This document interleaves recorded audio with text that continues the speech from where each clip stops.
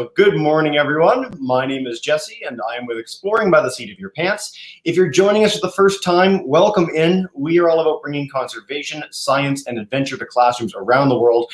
And I want to say thank you. I've been saying this all month long. Uh, thank you to all our teachers for joining us. We know that September is an absolutely crazy month for you all. It looks totally different. It's been totally different. And so we appreciate you spending some of your time with us as we continue to highlight amazing people from around the globe. So two notes about this presentation before we dive in. First, our whole month has been dedicated to ocean plastic. So we have done 20 plus programs featuring uh, adventurers, scientists, researchers from around the world highlighting this issue of ocean plastics, which is hugely top of mind uh, nowadays. Uh, I love it because it's a totally apolitical issue. No one looks at a beach covered in plastic and goes, great.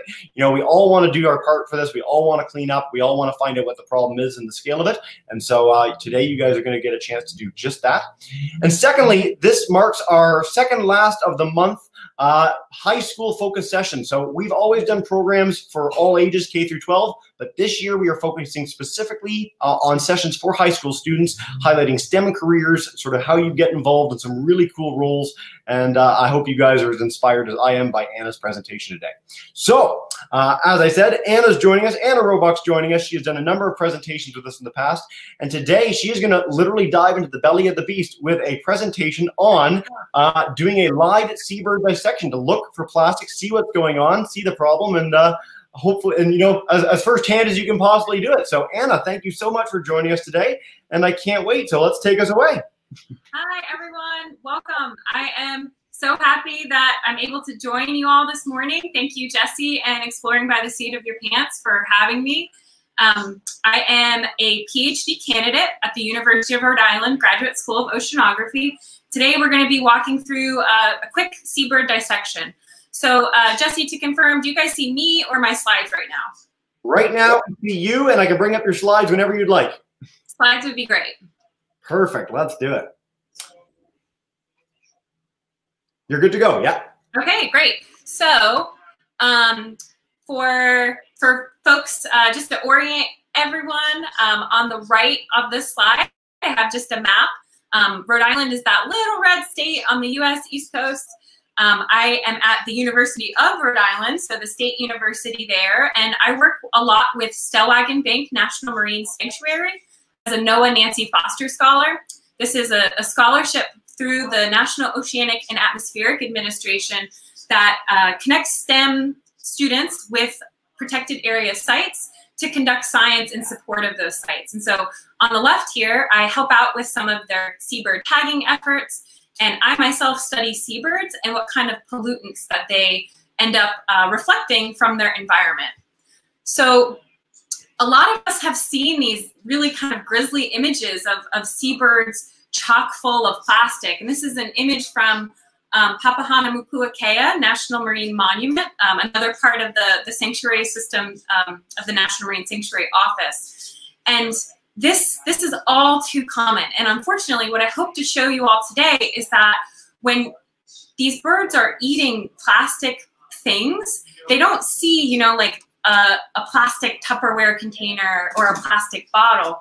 They see little tiny fragments or kind of pieces of, of plastic products that they can mistake for food. They don't look like plastic products once they spend some time in the environment.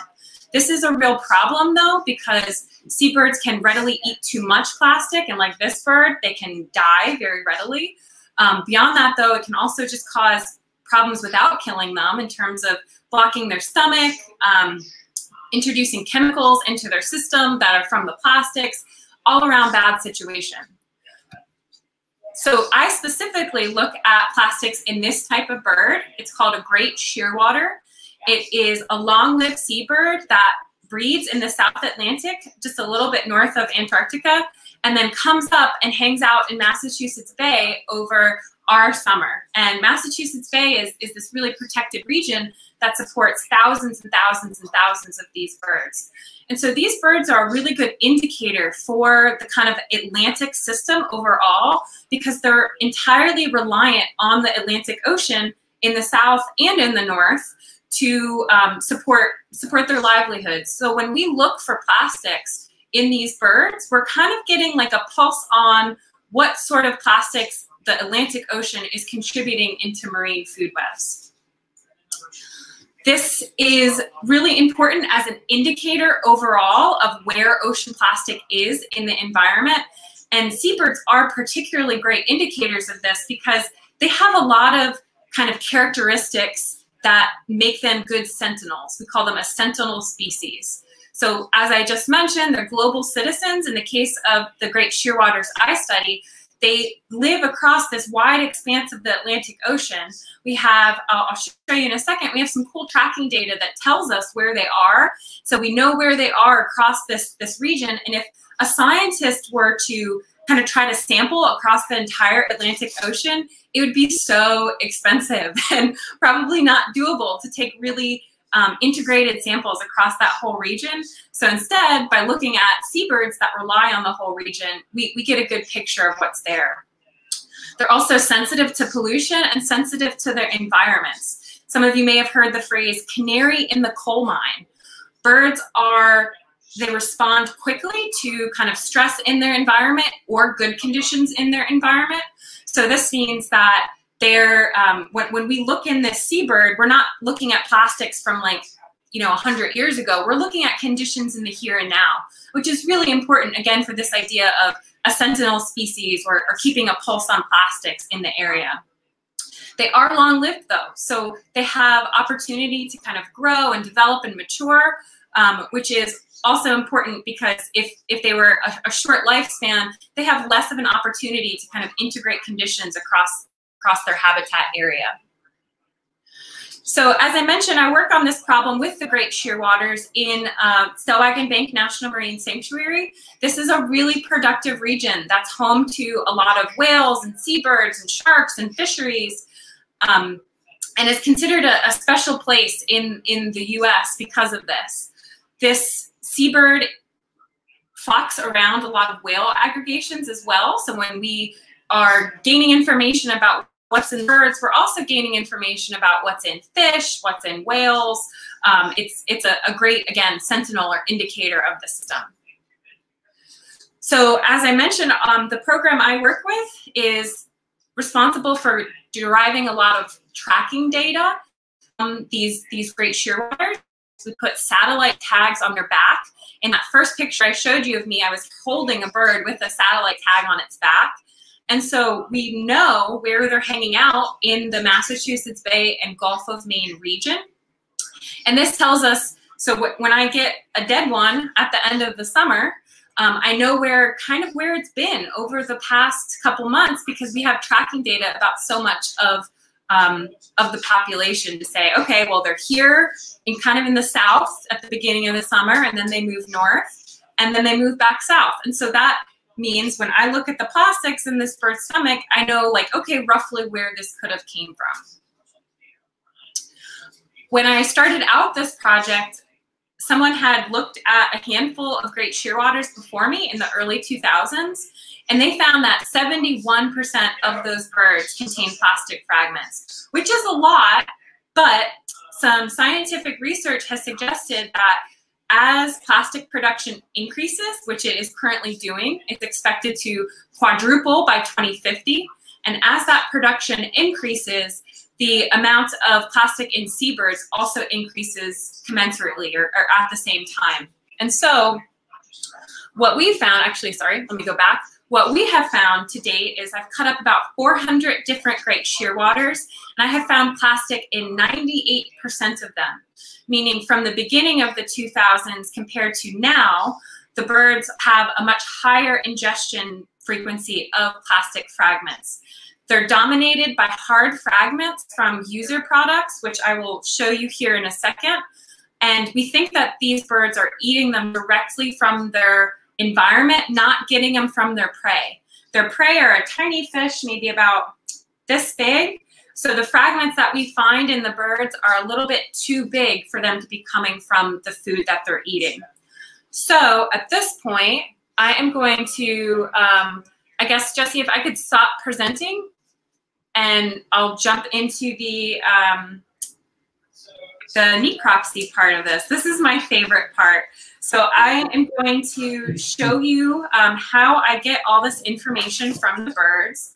as Jesse mentioned, uh, my Wi-Fi is not great. We're having storms here in Rhode Island today. So um, if you want to see something that is maybe not close enough or you can't quite make out, um, if you could put it into the chat box and maybe Jesse call that out to me so that I can be sure to hold up whatever it is or, or bring the computer a little bit closer. Um, so with that said, let me get set up here and see what we can do. All right, so um, can you guys, can everyone see a dead bird? We, okay. Yeah, we, sort of, we, we see the shape of it. We see that we've, we've cut it open and we're, we can dive in. And uh, again, it's a little uncrisp, but that's not the end of the world. We'll hope for the best. And if anyone does have any queries and wants to see something closer, please do let me know in the chat bar. We'll bring it up closer okay, to the camera. I'm going to lift it up right now just to get it a little bit closer to start. So um, for folks who maybe don't like blood, you might need to close your eyes for some of this, but hopefully we'll, we'll get past that. I went ahead and opened up the bird so that we can kind of get started right away. When you perform this necropsy, we really rely on doing a complete visual assessment of the bird. So I'm going to put this down to, to just show you a little bit more, and I'll pick things up as we need. Um, when we start out, we we start by doing external measurements on the bird's beak. And so this entails measuring this portion of the beak called the culmen. We measure how long its wings are. We check out its fat, and I'm going to lift this up one more time. So let me grab a pointer here. Um, over here, this white stuff that I'm kind of picking up and holding, that's all fat. The bird is lined with fat. These birds rarely come to land. They live entirely on the ocean. They sleep on the ocean. They, they feed on the ocean. And so they have these really, really big lining of fat on the inside of their um, chest cavity and just throughout their body to help keep them warm. So one of the things we measure when we open them up is how thick their fat is. We do that. Let me, I'll just show you real quick here.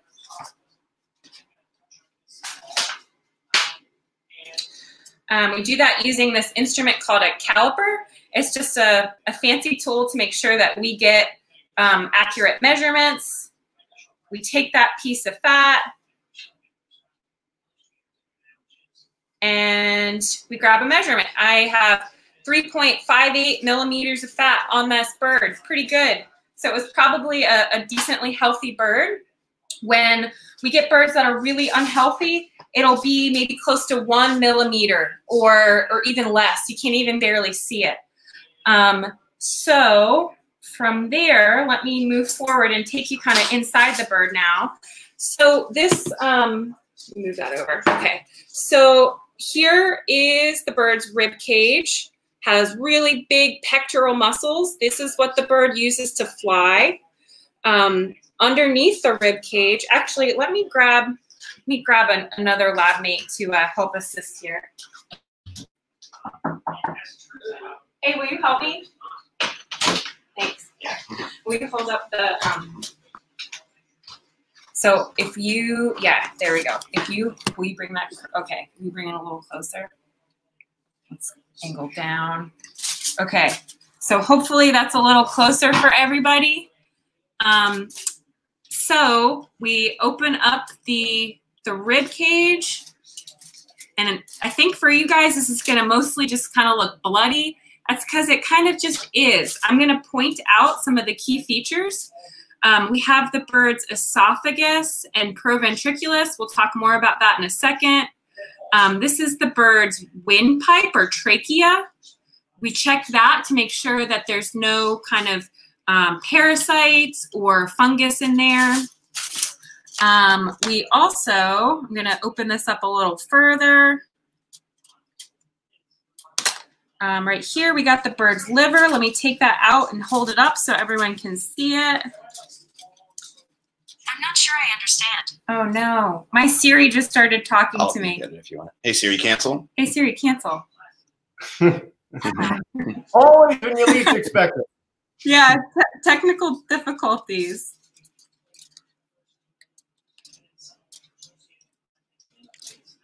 Okay, so um, I'm gonna hold hold this up close. I think everyone should be able to see that. It's just kind of a a, a sac, um, amorphous when you take it out of the body, but you'll notice that the liver has two lobes to it. I hold it up so you can see that. So there's there's two lobes. Um, we take a weight on this liver to figure out um, how healthy again the bird was. By taking a bunch of organ weights you get a good sense of how big the bird was how healthy it was. And then i also take this liver and i look for chemicals in it. Um, different types of new and old chemicals to figure out what what sort of, of chemical pollutants the bird has in addition to plastic pollutants so now that the liver's out and this is probably the most exciting part um, i'm going to go ahead. I already started to open this up for us. I'm going to keep taking it out for us. Let's see. Can you? Okay, good. Thank you so much. Um, so this is the bird's ventriculus and proventriculus. And right now I'm just kind of flushing things out of this area. And I will hold this up so everyone can see a little bit better. Thank you so much for holding that. Oh, cool. I have uh, my boyfriend and excellent lab assistant is helping me right now um, hold hold up the uh, the computer. So thanks to him, he's also a whale tagging researcher at Stellwagen Bank National Marine Sanctuary. So I think his his stuff is pretty cool, maybe even cooler than mine. But I I'm biased. I don't think so. Well, two notes on that. First of all, a love built in dissections is bound to last. And secondly, if he ever does a session, you can be his lab assistant, okay? We'll make that happen. There we go. There we go. I like that. okay, so. You're spraying your laptop with blood. Oh, yeah. oh, yeah. Okay, so we can't do that. Okay, so now we've got everything out of this bird's bottom portion of the stomach. This is what it looks like when it comes out hang tight for just a second and I'm going to take out the whole stomach to show you what that looks like. Fantastic. While you're doing that, Anna, what I've done in the comment section of YouTube, and I'll share it with our live classes as well, is again, it is a bit blurry today. It's unfortunate. Uh, so what I've done is linked uh, the classes to some of one of your last broadcasts where it was crystal clear video, so that if people want to see some of these organs up close, it, it's not the exact same dissection, of course, but it is similar, and you can check that out if you want to see things in, in all their glorious detail. Okay, so I am now holding um, the bird's entire stomach. Um, since it's kind of blurry, I'm assuming you guys hear, or excuse me, see just kind of a long pink tube. Um, at the top of this tube, this is a really flexible part where I'm pointing to. This blows up like a balloon for the bird to be able to eat as much as possible. This portion at the bottom that I'm I now am holding up in two fingers, it's kind of gonna just look like a pale sack to, to you guys. Um, this is called the bird's gizzard or ventriculus. This is a muscular organ that I just cut open to get out the plastic bits from, um, from the bird. So the bird kind of gorges itself on fish and squid in the flexible part. And in the the bottom portion, this muscular portion called the gizzard, this is where the bird tries to grind up bones and squid beaks. And it often gets filled with plastic though because they are eating such a significant amount of plastic. And so this little tiny organ, you can, um, so it's, it's about, when it's full, it's about that size. It's, it's very small, um, the size of maybe an American half dollar. Um, and yet it can be packed with up to 200 pieces of, of plastic. And so now that I've kind of shown you an outline of what this looks like, we don't look for plastics in the, the flexible portion. Just a side note before I forget. We don't look for it up here because shearwaters actually throw up a lot when they get stressed or they're they're trying to kind of like get lighter so they can take off of the water. They throw up and so this portion, the flexible kind of like balloon-like part portion, not as useful. So we really just look for plastics down in this later portion where um, the muscular portion that is, is a lot smaller.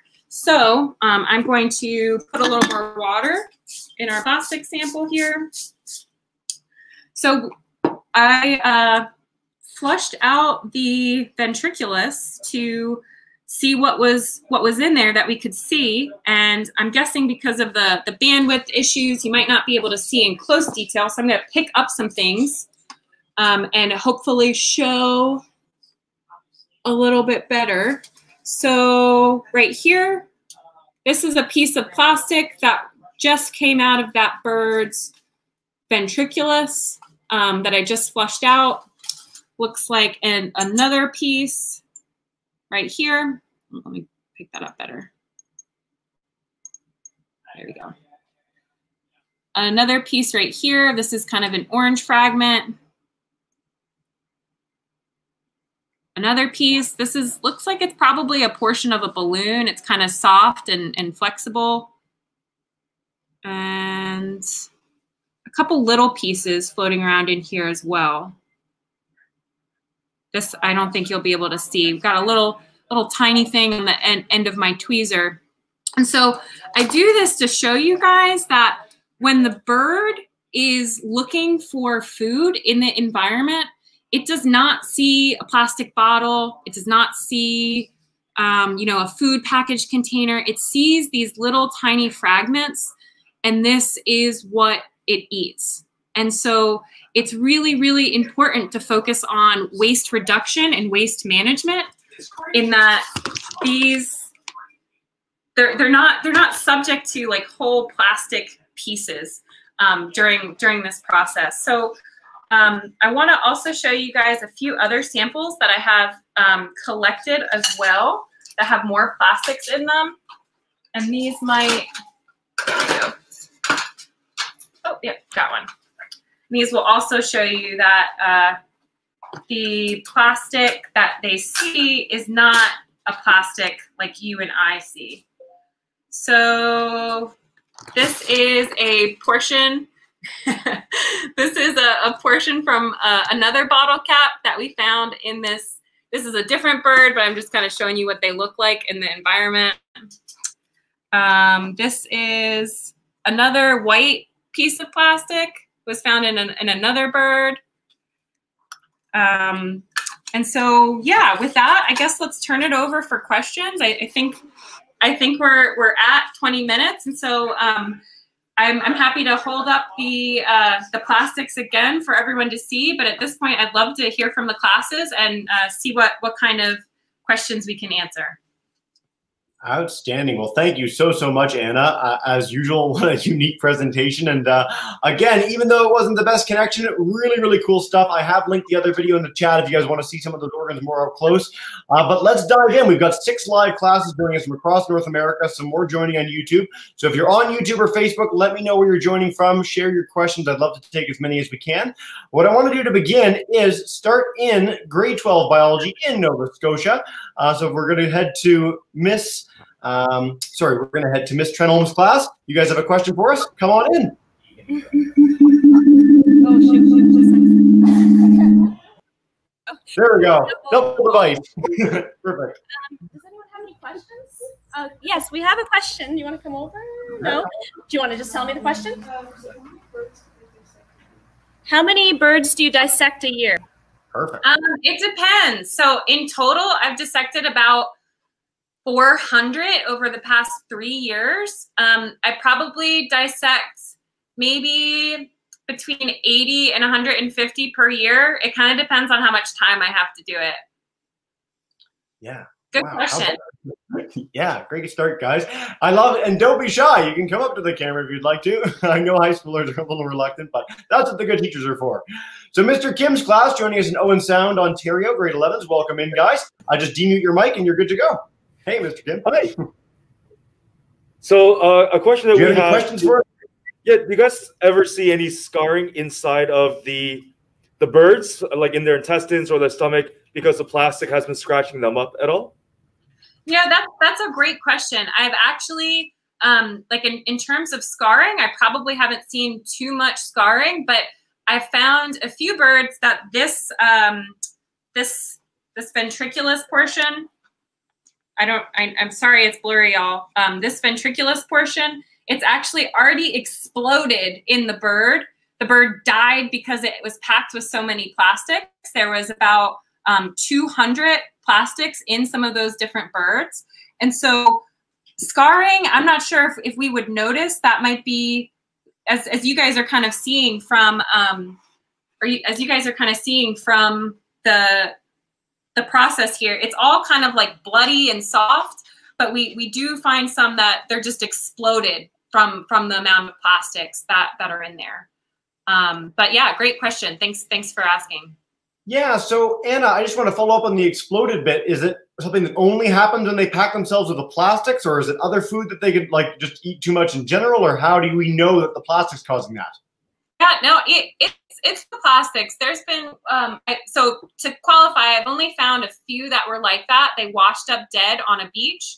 Um, it's mm. it's the the plastics for sure the squid beaks that they would naturally have in their stomach, they break down at a, a kind of a, a, normal rate that the birds are accustomed to. And so they pass out of the system, uh, the bird system faster than the plastics, as, as far as we know. While the plastics, they degrade at a much slower rate, or so we think. And so they're sticking around in there and kind of blocking that little organ, that, that tiny organ, from processing all the other things that are supposed to be passing through the bird's GI tract. And so um, the the squid beaks, if they eat a ton of squid beaks, they know how to digest those. If they eat a ton of plastics, it's not quite the same. Yeah. Um. Yeah, that that I think is is the, the best answer to that. Yeah, that's perfect. I just wanted to clarify for all the students. That's awesome.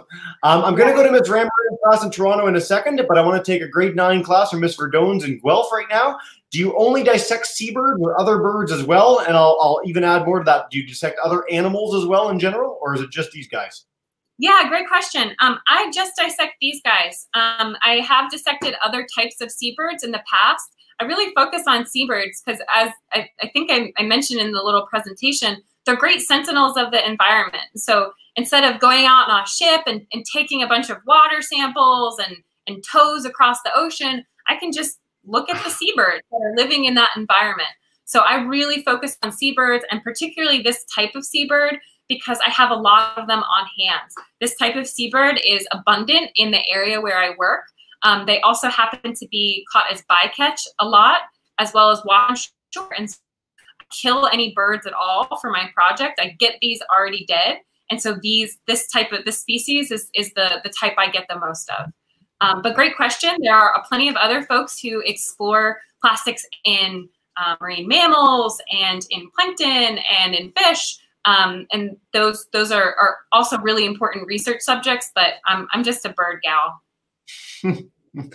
Uh, it's a really exciting time in ocean plastic research, and I want to highlight that for all our classes. Most of the work done in the field has been done in the last 20 years, and most of that's been done in the last five. This is something that we're really seeking to understand, uh, you know, around the world with labs around the world um, right now. So it's uh, there's there's new information every day. We featured a lot of that on our broadcast for the last few weeks. So do follow up on this broadcast with even more. There's some really exciting stuff out there on what's being found. Let's go to Miss Rambaran's class. As I said in Toronto, welcome in, guys. Just demute your microphone and you're uh, good to go. Perfect. Oh. Oh no, you're muted. I can't. No, they're unmuted. It's Mr. Did you? Yeah. I didn't quite. Yeah, no. So, Ms. Amber, I'm sorry to ask if you can type that in the chat bar. Again, your audio is really iffy. You don't have the fun of these are technical difficulties. So, Ms. Rambaran, type that in. Thanks to the student for asking the question, and we will share it as soon as we possibly can, okay? I um, love the mask, by the way. That was super cute. Yeah, best mask ever. It's been half the fun of these broadcasts this month. Um, so, Miss Coolin, I'm going to come to you in just a second. I want to take a question from Julia in Vancouver, BC. So, she wants to know what's the biggest piece of plastic you found, and how do you know what it was from? Yeah, definitely. Um, so, a couple memorable items. Um, I find a lot of bottle caps. Um, you can tell that they're bottle caps. Let me see if I, actually this one that we just found might be a bottle cap. Yeah, this is a bottle cap. Um, so this, this one that we just pulled out of this seabird right here, this little green thing, Um, it might be too blurry to tell, but there's striations on the inside of it, meaning like ridges or bumps that if you think about like the bottle of a or the top of a Coke bottle, um, that's that's what you see in the bird and it's reflected. And so the um, the top portion of the bottle cap caves in and just the the thick sides are left and we find so many bottle caps that's like the number one item we find the biggest piece we've ever found um, we believe it was the heel of a shoe and it was probably about i want to say close to like a, a centimeter um, i think it was precisely like 11 or 12 millimeters in length so it's a, a pretty significant piece of of plastic. Um, and we believe it was the heel of a shoe based on kind of its curvature. And you could start to see a brand name um, or like in, engraving on it. And so we, we think it was the rubber, the rubber portion of a shoe, but great, great question. Yeah. Now that the rubber shoe might be the answer to this. So Miss Rambrand, students, thanks for typing in questions. So one of the first questions was, what's the worst thing you've seen in a bird? So if that's the same answer, I can take the next question. Um, so I have to I have to add to that because we see are when they eat balloons. Um, the balloons disintegrate and become kind of this like tar sort of thing, and that rubbery tar stuff gets all through. It, it catches in their GI tract or their their whole stomach, and it also it coats all of the natural items in their stomach, and it makes those natural items even harder to break down.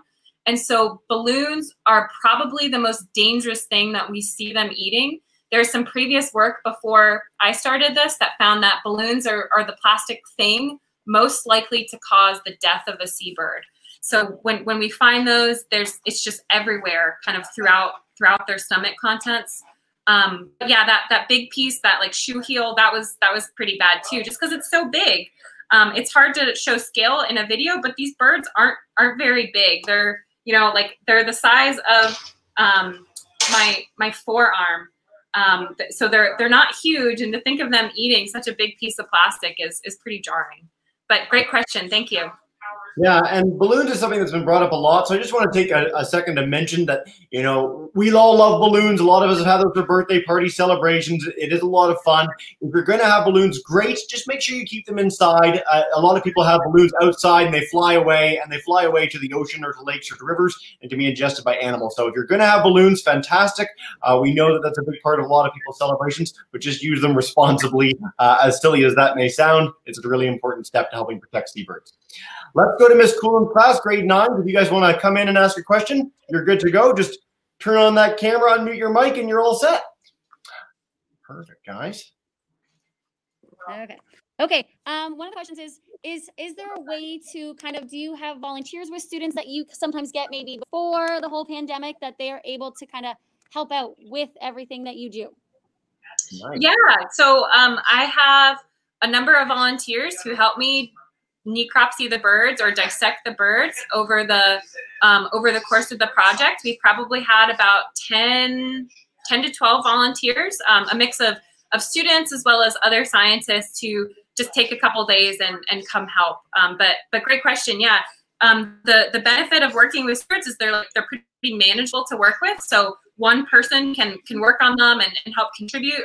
And help be, uh, because um, we're not we're you know we're, we're looking for a specific thing in these it, it also it goes pretty fast um, which is is definitely a, a benefit. So yeah we, we do take volunteers and students and that sort of thing Fantastic. Great question, guys. One of the things we love to highlight in high school sessions in general is that it's exactly that sort of thing that leads to a lot of people ending up in their careers. Volunteer, intern, get involved. If you find someone that's doing work that you're interested in, reach out to them. Most scientists don't bite, some do, um, but you can always uh, reach out and, and get inspired and work with people and, and find new career paths yourself. So, uh, whatever grade you're in, grade 9 through 12, anywhere before that, even, uh, lots of opportunities out there. Yeah. Oh, yeah, sorry. Let me let me augment that. I actually had a high school um, mm-hmm. volunteer for a couple weeks, and she was she was awesome.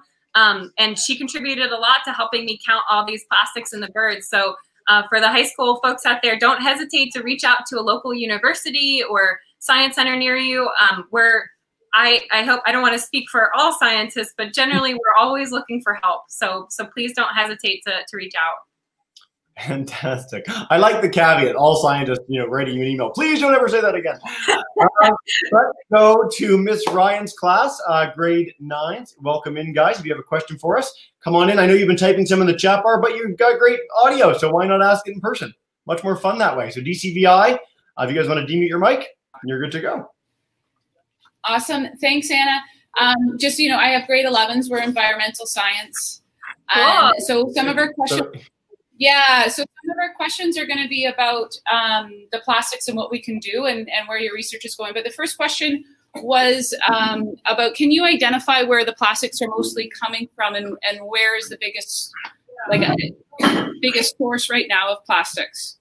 Yeah, great question. So that's something we're working on in the scope of this project. Um, we believe because these birds, the, the area in the South Atlantic where they spend half of their time is much more remote than the area in the North Atlantic where they spend the rest of their time. So we believe that the North Atlantic is probably more of the source. They don't really forage in between their two areas. They're kind of like north and south. And so when they come to the North Atlantic off the coast of Massachusetts, they're ravenous, they're eating a lot, um, as well as when they're, you know, when they're breeding in the South Atlantic, they're eating a lot. And so we believe because the North Atlantic is closer to a lot of human populations, they're probably getting more plastic there. In terms of specific sources, um, we also believe because of how many bottle caps that we do find, it's probably, um, you know, land-based plastics that are mismanaged and making it out to sea, um, or they are plastics discarded from ships and um, kind of left to degrade in the environment. We're not finding, you know, intact bottle caps. So whatever it is that they're, you know, wherever they're getting from, the plastic has had time to degrade in the environment into these little fragments. Additionally, um, on these plastic fragments, we take a number of measurements. We take uh, length, width, weight, and thickness, as well as do an analysis of what type of plastic it is. So most of the birds are eating polyethylene and polypropylene. They're two of the most common types of plastics. So 90% of the plastics that they eat are recyclable. So um, we we do we do know that, and we're oh, some of the measurements are helping us kind of support this idea that they're land-based plastics. If they were entirely from sea sources and like ship sources, they would probably be a little thicker. So we, we think that based on like the size, the length, width, and, and thickness of the plastics, that's where we're, we're getting this hypothesis of land-based mismanaged plastics, unfortunately. Um, I, I think that touches on your question. Yeah, that's fantastic. Um, and again, if you want to find out more about the origins of plastics, we've covered that in a lot of our broadcasts recently. So check on our YouTube channel; they're all there. Um, and our story map that we created this year for the Ocean Plastics presentation. I'll link that to everyone when we're done.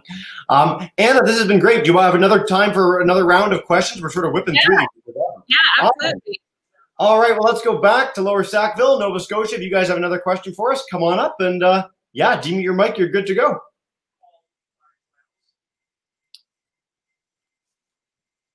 Sorry. Oh, there we go. Okay, we had a little tech issue there. Um, we did have another question about um, what can we do as citizens to help this problem of the fact that the seabirds are eating plastics. Yeah, absolutely. And, that, and any?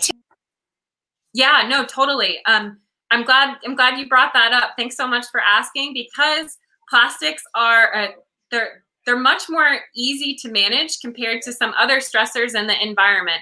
And so something that's really important is um, reducing the amount of plastic that you incorporate in your life. If you have a chance or have the choice between a plastic bottle and a glass bottle, take the glass reusable bottle. Um, reuse plastic um, rather than kind of discarding it as much as possible. It's really important to think about refuse, reduce, and recycle. You, none of those in individually is going to solve the problem, but if you kind of use them all together, we can we can really kind of start to address this for these birds. So yeah, number one, reduce the amount of plastic that you consume because while you may do your best to make sure it gets managed properly, sometimes things happen and it might not. And so by refusing and reducing at your individual level, that's really important. The second thing is I would encourage you to participate in um, cleanups of your watershed if you live near a creek or a river or a coastline we most of the plastics that these birds are eating we believe are coming from land sources and this doesn't mean just land sources right on the coast um, you know, I, I always quote finding nemo you know all drains lead to the ocean. So stuff from way way upstream can be getting washed downstream into the ocean. And so cleaning up your watersheds um, is is a really key part of, of getting plastics out of the system before it makes it into these birds guts. So th those I think are, are my, my number one tips. Um, there's a bunch of great resources uh, available, I know, through through this program as well as online through uh, the Marine Debris Program as well as the Gyres Institute. So, you know, check out some of those as well for, for other ideas about how you can address the issue. Fantastic. We actually have a NOAA presentation happening at 12 Eastern today. So if you want to check that out as a complement to this, you can do so. Um, I'm going to take two quick questions that have been typed in by our classes, and we'll come to Ms. Uh, uh, our Mr. Kim's class in just a second. So really quick questions. Uh, Ms. Rambrand's class, why did you choose to dissect seabirds, Anna? What led you to this? oh, yeah, that's an interesting question. So um, this is just one of those things. You know, I love seabirds. I love the dissection process. Um, I, I did it uh, a couple years back at the beginning of my PhD, and I was kind of hooked. It also, as I mentioned, they're great sentinels or indicators of the marine environment. So it was kind of an alignment of like, oh my gosh, I totally love this, and this is really useful. I'm getting good information. So that um, that was maybe how I particularly focused on seabirds, um, and I I just I think it's so cool And I know that maybe like a little weird because it's super bloody, but it's just so cool. You get so much information, and um, it's it's important to figure out if if these birds are eating and dying from it. I really, you know, I feel like I'm contributing and, and helping to describe the problem, which is just something I love. If any of our students today can find something that they're as passionate about as Anna is about cutting open seabirds, you're set for life. That's a great uh, way to be. And we love highlighting people that are as passionate as you. So thanks, Anna. Um, all right, let's take another question from uh, one of our groups typing in. So Ms. Ragone's class wanted to know, so you, you mentioned 98% of the seabirds you've cut open have plastic inside them. That's absolutely alarming. Do we know what percentage of the birds die from that plastic that's inside them? Is there a way of quantifying that? Yeah, that's a great question. So um, work not from me, another group, I think they're from Australia. Uh, they did a number of kind of statistic modeling approaches to figure out what's the likelihood of dying from plastic for seabirds because you know the ones I get they're already dead, so I can't necessarily tell what happens to the bird after I count the number of plastics in their stomach, obviously. Um, but this this other group, uh, they did a bunch of kind of statistics and they figured out that once a bird exceeds um, 20 pieces of plastic in its stomach, its chance of mortality from plastics jumps, I believe, 90%. Uh, it's a I don't don't take that to the bank. Uh, I if anyone's interested, please contact me. I'll send you the the paper that that explains it. But once they have 20 pieces, it it jumps about 90 percent. Most of the birds I cut open have about um, anywhere from 8 to 12 pieces, so they're a little below that. But I want to point out all the birds that I cut open, um, I'd say about 90 to 95% of them are first year birds, meaning they were just born. And so the birds live for 40 or 50 years over the rest of their lifetime. They can accumulate a lot of plastics. And so, in terms of what percentage are, are dying, not totally sure some best estimates tell us that um, once they go beyond a certain number, it's more likely. Um, in terms of how it's impacting this species, that's something we're hoping to figure out with this with this project. So maybe next year I'll have uh, an update for for that question. We'll, we'll bring all the classes back in just to check. Um, I know we're going a little long for our classes here. If you need to go for periods uh, ending, no, no worries. And you can always ask questions after the fact too. But I'm going to try and see if we can get rapid fire four more questions in. So Mr. Kim's class, uh, grade 9 and 10, if you guys want to come on up and ask one more, go for it. So where do the birds come from? Like, do you like go searching for the dead birds or does someone bring them to you? Yeah, yeah great question. So um, this I, I, get them from from two different sources. Um, a lot of birds wash up um, on beaches that that kind of die and they float because they're so full of fat. So they float, they wash up on beaches. I get all those birds through kind of connections in my region. As well, um, as a NOAA Nancy Foster Scholar, I have a connection to the Northeast Fisheries Observer Program. It is a program here in the US where um, folks go out on fishing boats and kind of quantify what gets caught in the nets in addition to target species. Sometimes these birds get caught in those nets. And so the, the folks on those fishing boats grab the bycatch birds for me, they stick them in a bag and bring them back for me to cut up and, and look for plastic in. So two different sources, um, both of them already dead though.